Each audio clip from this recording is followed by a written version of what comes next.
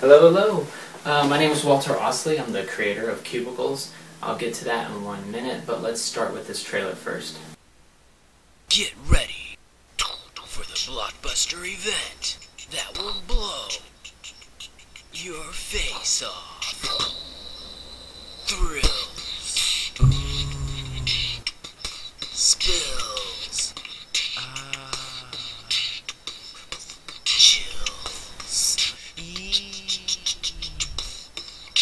monsters, zombies, space squid, squish fights,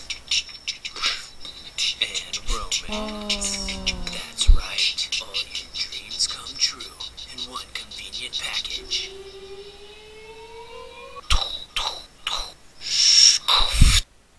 Overload your cranium. Cubicles, the movie, the graphic novel, coming when you buy it. Alright, so hopefully you got a little bit of an idea of what Cubicles is all about. I, I know you're asking, Cubicles, the movie, the graphic novel, it's a little bit of a mouthful.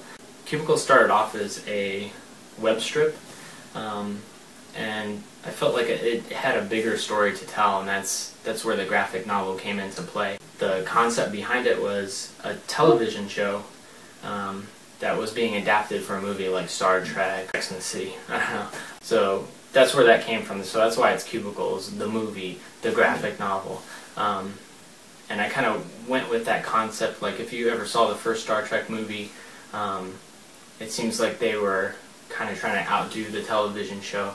And I wanted a little bit of that with the comics, so that's why you have all those elements um, from the trailer in there, because it's, it's just supposed to be this huge, crazy story, when really the strip was about two co-workers that uh, basically just tried to make it through the day at an office, and now they're on this huge, gigantic space adventures. And actually, the story is finished uh, completely, as you can see from this huge, gigantic stack of papers. Um, the story is all done. The money that I'm trying to raise is, is going to go to help with the printing costs and also um, convention costs, getting out there, getting a hotel, stuff like that, and also uh, with advertising, just trying to get the product out there in the right hands. Um, and in return for all your cash money, um, you're going to get some stuff like um, some of my custom bookmarks. Woo! The original uh, Cubicles strip uh, printed out in full color. Uh, my first sketchbook, uh, double covered, uh, 48 pages of black and white uh, sketches and also some pinups and stuff in here.